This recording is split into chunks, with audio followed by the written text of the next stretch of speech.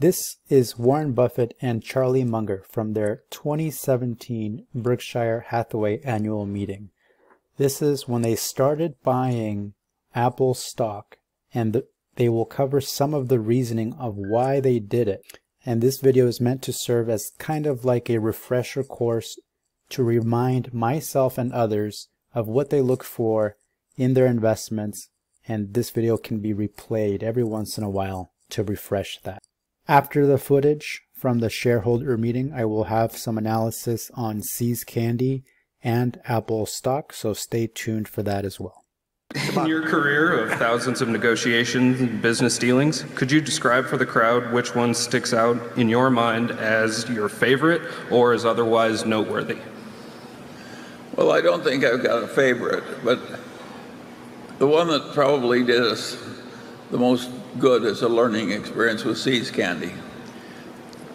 It just, the power of the brand, uh, the unending flow of ever increasing money with no work.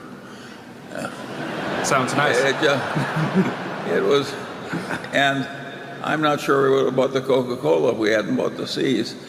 I think that a life properly lived is a, it's just learn, learn, learn all the time. And I think Berkshire's gained enormously from these investment decisions by learning through a long, long period. Every time you appoint a new person that's never had big capital allocation experience, it's like rolling the dice. And I think we're, we're way better off having done it so long. And, and, but the decisions blend. And the one feature that comes through is the continuous learning. If we had not kept learning, you wouldn't even be here. You'd be alive probably, but not here.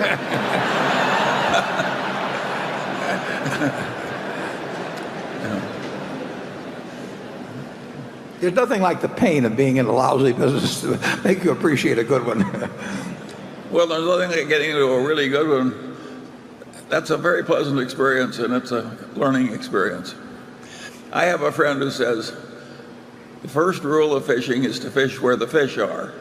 And the second rule of fishing is to never forget the first rule. And, and we've gotten good at fishing where the fish are. Yeah, that's only metaphorically. I went, to, I went to, fish with Charlie there, one there time. There are too many other boats in the damn water, but, but the fish are still there. Then you seemed to change your view about technology when you invested in IBM, and again when you recently invested in Apple. But then on Friday, you said IBM had not met your expectations and sold a third of our stake. Do you view IBM and Apple differently? Well, I do view them differently, but you know, obviously, when I bought the IBM, started buying it six years ago, I thought it would do better in the six years that have elapsed than it has. And uh, Apple, I, regard them as being quite different business. I, think Apple was much more of a consumer products business in terms of the, in, terms of sort of analyzing uh, moats around it and consumer behavior and all that sort of thing. It's obviously a product with all kinds of tech built into it. But in terms of laying out what their prospective customers will do in the future as opposed to, say, on IBM's customers. It's, a different sort of analysis. That doesn't mean it's correct. And we'll find out over time. But they are two different types of decisions. And, and, and uh, I was wrong on the first one. And we'll find out whether I'm right or wrong on, this, on the second. But I, don't, I do not regard them as Uh, apples and apples. And I don't quite regard them as apples and oranges. But it's somewhat in between on that. Charlie? Well, we avoided the tech stocks because we felt we had no advantage there and other people did. And I think that's a good idea not to play where the other people are better. But you know, if you asked me in retrospect, what was our worst mistake in the tech field? I think we were smart enough to figure out Google. Those ads worked so much better in the early days than anything else. So I would say that that we failed you there. And we were smart enough to do it and didn't do it. We do that all the time, too. Yeah, we were their customer very early on with, with Geico, for example, and we saw, I, I don't, these figures are way out of date, but I, as I remember, you know, we were paying them 10 or 11 dollars a click or something like that. And anytime you're paying somebody 10 or 11 bucks every time somebody just punches a little thing where you've got no cost at all, uh, you know, that, that's a good business unless somebody's going to take it away from you. And uh, so we were close up uh, seeing the impact of that.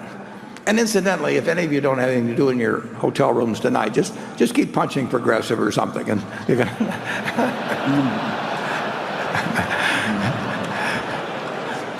don't really do that. the thought just happened to cross my mind. but you know that is, you know, you've never seen a business, almost never seen a business like it, where and and I think for LASIK surgery and things like that, I, I, think the figures were, you know, 60 or 70 bucks a click with no incremental, no cost. So, and I knew the guys. I mean, they actually designed their prospectus. They came to see me, and they a little bit after uh, the original one when they went public, a little bit after Berkshire even. And so I, I had plenty of ways to ask questions or anything of the sort and educate myself, but but I blew it. Uh, and. Uh, we blew, we blew Walmart too. When, yeah. it, when it was a total cinch, we were smart enough to figure that out and we didn't. Yeah. Yeah, figuring out execution is what counts. So, you have said smartphones are too smart for you. You don't have a computer at your desk. And you've only tweeted nine times in the last four years. It was either that or going to a monastery. Despite this, you've recently been investing, looking, and talking more about tech companies. My question to you, and also to Charlie to comment, is what turned you from the Oracle of Omaha to the tech maven Omaha? well, I, I don't think I would. Uh, I don't think I've talked that much about tech companies. But the truth is we made a large investment in IBM. I made a large investment in IBM, and, which has not turned out that well. We haven't lost money. Uh, but in terms of the bull market we've been in, it's been a significant laggard. Uh, and then uh, fairly recently, we, took a large position in Apple, which I do regard as more a consumer goods company in terms of certain economic characteristics, although that it, you know, it has a huge tech component in terms of what that product can do or what other people might come along to do to leapfrog it in some way. But I, I, uh, I think I'll, I think I'll end up being, no guarantees, but I think I'll end up being one for two instead of 0 for two, but we'll find out. Charlie, uh, I, I, I make no pretense whatsoever of of being on the intellectual level of some 15 year old that's got an interest in tech. I think I may know, have some insights into consumer behavior. I certainly uh, can get a lot of information on consumer be behavior and then try to draw inferences about what that means about what consumer behavior is likely to be in the future. Uh, but we will find with the one, the other thing I'll guarantee is I'll make some mistakes on marketable securities, and I've made them in other areas than uh, than tech. Uh, so you, you'll not bat a thousand, you know, no matter what industries you you stick you, try to stick with. I know insurance pretty well, but I think we probably lost money on an insurance stock, perhaps, you know, once or twice over the years. So it, it uh, you don't bat a thousand. But I have gained no real knowledge about tech in the last, well, since I was born, actually. Charlie? I think it's a very good sign that you bought the Apple. It shows either one of two things either you've gone crazy or you're learning. I prefer the I prefer the learning explanation. Well, so do I actually. One of the best investments Berkshire ever made was in See's Candy in 1972. They ended up paying 25 million for See's Candy and Warren Buffett talks about how they thought they were overpaying because they were used to buying cigar butt, really cheap companies that were trading far below tangible book value, something like 25 to 50% tangible book value, or, or for their working capital is how what they were looking for. For See's Candy, they had to pay up something like three times the tangible book value, and that's how they got to 25 million. But the earnings yield is roughly about 8% because the earnings was 4 million before tax and after tax it was 2 so it's roughly 8% 8% earnings yield after tax earnings yield. Uh, the PE down below we see it's about 12 this is the perfect example of the strategy that they started doing after See's Candy buying high earnings yield 8 9 10 and then making sure that the company was so good that they, they were generating lots of cash and they would notice that because they would have cash on the balance sheet and low debt. So they initially paid 25 million to buy all of See's Candy and to date they've taken in over 1.35 billion dollars in aggregate profits that's not calculating the value of the business now. That's just the pure cash flow from See's candies. Berkshire and Warren Buffett started buying Apple in 2016. And today the stock is worth over $220. That's almost 1000% or 10x. But amazingly, when you look back at the financials, the fundamentals, you'll notice a pattern was very similar to See's Candy, and I'm going to show you here on this chart. So on TradingView, you can look at something, an indicator called earnings yield. And if we look